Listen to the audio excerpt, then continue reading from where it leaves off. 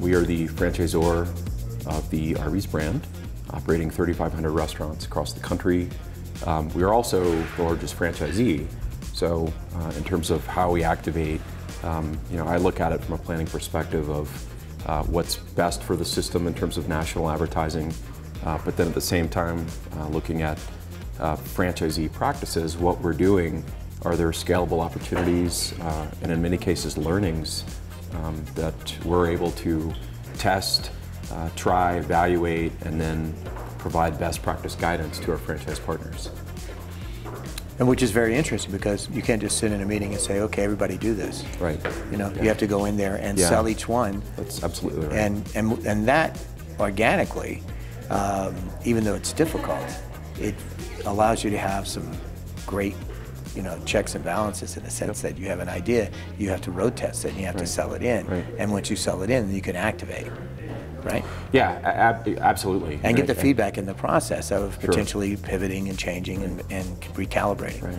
I think more than ever, um, you know, it's, it's kind of two things as you say that that, that come to mind: uh, diplomacy and data.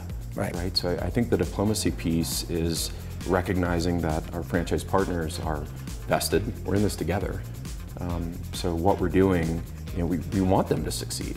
We, we want them to be successful. The data comes in again, I think with the the willingness to uh, take what we've done, uh, whether it be from linear TV, which you know, admittedly is still a very large part of our strategy from a reach standpoint, uh, but particularly now, and that's really why I'm, I'm here, uh, is to, to validate some of the things that we're doing, but then learn from uh, some of the amazing brand, brands and vendors that are here, is really to, to mine that data and say, you know, what's working.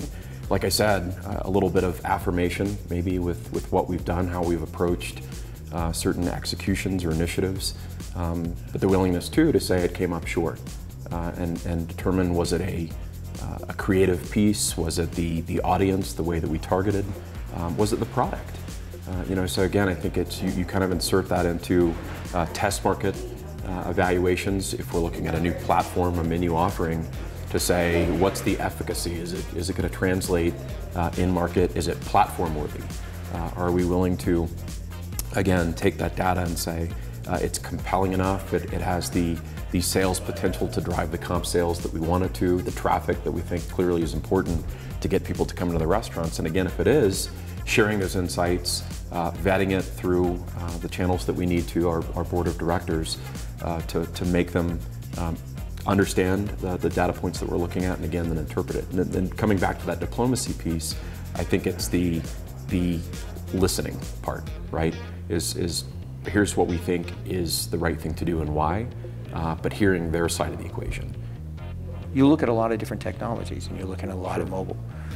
Um, for the tool set for 2015, of real tools that are available that you can use in this year's marketing strategy, what are you excited about? What do you see out there that um, you're, you know, that you're either deploying or planning to Right. deploy, but you have some passion about that Yeah. you, you, you feel like is a good bet?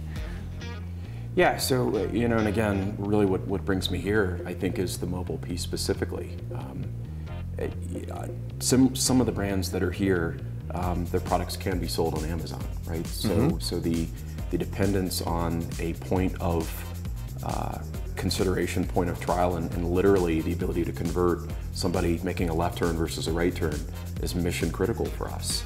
Um, so I, I think I'm probably most excited about uh, the mobile opportunity, meaning that if we take from the purchase funnel, again, I mentioned early in this conversation that TVs uh, is and will continue to be um, uh, an integral part of what we're doing from the, the mass reach consideration.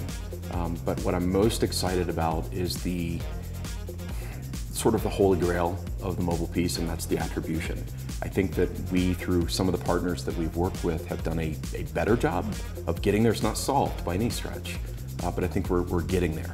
Um, so if we can really hone in on uh, audience targeting, behavioral targeting, uh, conquesting clearly is, is something we do. Our competitors are doing it to us. Uh, it's part of the game. Uh, it's what makes it fun.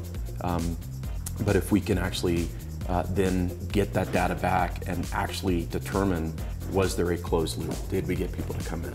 As mentioned, you know, I don't think we're, we're there yet. um, it, it is getting better. Some of the conversations yesterday, uh, some of the, the vendors um, are, are, are, giving way to getting again a lot closer. So I, I think the excitement is, is just in that chase, mm-hmm. determining how we can get that much closer.